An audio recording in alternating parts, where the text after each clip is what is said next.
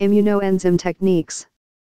Immunologic techniques based on the use of 1. Enzyme antibody conjugates, 2. Enzyme antigen conjugates, 3. Anti-enzyme antibody followed by its homologous enzyme, or 4. Enzyme anti-enzyme complexes.